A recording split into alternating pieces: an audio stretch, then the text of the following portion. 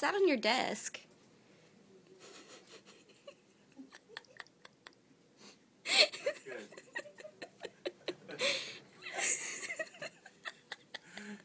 Susan had the glasses sitting on it at first. You should get one of the stool cards. And, oh my God, it feels good. I know Gary was looking at it, and Susan's like, "Should I take this to the lab?" Very good. That would have been funny. I should have put a stool card there.